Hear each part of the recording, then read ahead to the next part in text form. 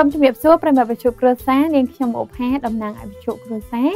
សូមជូនពរទៅដល់ប្រិមិត្តយើងទាំងអស់គ្នាក្នុងឱកាសបុណ្យចូលឆ្នាំថ្មីប្រពៃណីជាតិនេះជួបតែសេចក្តីសុខសាន្តជាពិសេសការធ្វើដំណើរប្រកបដោយសុខសុវត្ថិភាពអ្វីដែលសំខាន់នោះចង់លើកទឹកចិត្តទៅដល់យុវវ័យទាំងអស់ចំណាយពេលជាមួយនឹងក្រុមគ្រួសារឲ្យបានច្រើន ជាពិសេសនោះគឺ